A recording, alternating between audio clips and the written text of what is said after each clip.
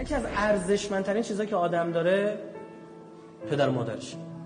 خود اون کسایی که دارن عمرشون زیاد اونایی نداره خدا بیامرزش برای پدر مادر تو طلب استغفار کنید که از دنیا. حتی اگه هستن طلب استغفار کنید اینقدر این مقام عجیب غریب و زیاده. چون پدر مادر ولایت دارن بر ما.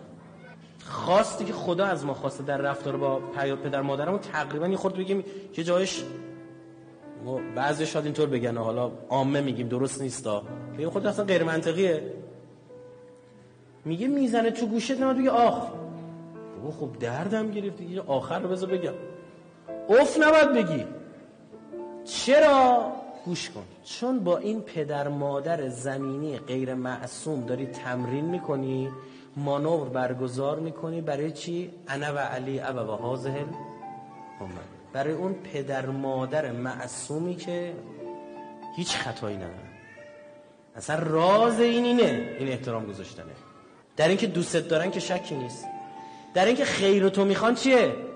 شکی نیست. هر تا ممکنه چی؟ اشتباه کنن. اما یک جایی اصلا اگه پدر شما یه موقع که خدا بگه جلو خدا وایستا. بله گوش نکن حرفش. اما یک جاهای دیگه میگه باش راه بیا مبادا دل پدر مادرتون رو بشکنید نکبت زندگیتون میگه. اولین کسی که به سراغ مثلا من نوعی میاد میگه که آقا دعام برآورده نمیشه فلان. از علمای اخلاق یاد گرفتیم. میگم برو پدر مادر توی بازجوییشون میکن ببین جایی هست از دل تو. بعد نمیگن و باید خیلی اصرار کنی. میگن چیزی نشده. نه خیلی هم پسر. نه تو رو خدا. هیچی نمونده تعدیل اینا بگو یه گوشه. اون روزی اینجوری هم حرف زده خورده بهم برخورد. همونجا غلط کردم اشتباه کردم به دست و پاشون. بعد ببینم فردا زندگی درست میشه نمیشه. پدر مادرم سو استفاده نکنن. اینورم بگیم. آره. سو استفاده نکنن دیگه. منصف باشن. این ببینید کن همه ارزشمندن. همسر یه جایگاه داره. هیچ کس رو کره زمین به اندازه همسر آدم با آدم محرم نیست. بچه عزیزه چه. اما یه چیزی پدر مادر دارن که یکی این ولایت خاصه بر آدمه. یکی دیگه هم که تکرار نشدنیه. پدر مادر یه دونه.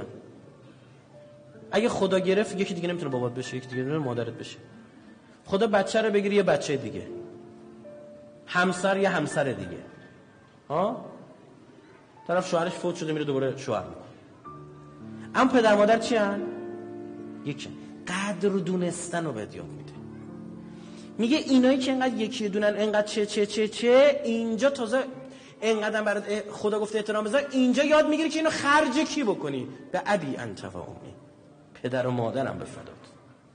این ته حرف این عیسی رو یاد میده. عزیزترین چیزم که غیر قابل چیه؟ دوباره به دست آوردنه. این ویژگی شد دیگه. ها عزیزترین چیزم که غیر قابل به دوباره به دست آوردنه به فدات. به دو تا پیامبر که ولادتشون موجود به دنیا میان پیغمبرن. سوره مریم اشاره کرد پشت سرم. اول حضرت یحیی بعد حضرت کی؟ عیسی. دو تا آیه داره. خوب گوش کن. بلا فاصله که میگه؟ بعد از حضرت یحیی. آیه 14 توضیح میده بعد حضرت عیسی هم آیه 32 توضیح میده. میگه چی؟ میگه و برن به والدی. میگه ویژگی این آقایی که تو یه روزگی پیغمبر شد یه روزگی زد حکمن صبیا. شیر خاره بود حکم پیغمبری بهش دادیم. اول اینجا این شبهه هم جواب داده میشه. چطور یه نفر یه روزه می‌تونه پیغمبر باشه؟ یه نفر پنج ساله نمی‌تونه امام باشه؟ نه ساله نمی‌تونه امام باشه. آیه قرآن.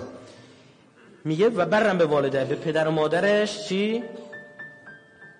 نیکی می‌کرد. و لم یکن جبارا عصیا. یه آدم جبار تند خوبیه چه نبود. یعنی نقطه مقابل کسی که برن به والده میشه چی؟ یه جبار گناهکار. در مورد حضرت عیسی چی میگه؟ اینکه پدر چون نداره میگه و برن به والدتی. مادرشون. ولم یجعلنی جبارا شقیا. من نیکی می‌کنم به مادرم. خدا من یه آدم جبار اهل شقاوت قرار نداده. یعنی کسی که نیکی به پدر مادرش نمی‌کنه اهل حواسمون باشه. مبادا اهل این بعد اومدیم تو جلسه ما مثلا بشستیم مثلا سلم الله من سالم اکن مونه می‌دونم چی. آقا بابا ما رو مخم میره. آقا مامانم رو مخم. بره. رو مخت نره که بهش احترام بذاری که هنر نکردی که. کاریت ندارم بغل نشسته روزی 50 تا تراول بهت میده. بابا دوست دارم. خون کشت خودتونه. از تو کوچه بچه رو برمیداشت اینجا دوستش میداشت. دقیقا اون جایی که رو مختن باید بتونی احترام بذاری. سخته قبول دارم. سخت. نمیگم کار آسونیه. کسی که کار سخت می‌کنن چیز خوب می‌گیرن لبخند بزن وقتی داره داد بیداد می‌کنه. بگو مخلصت.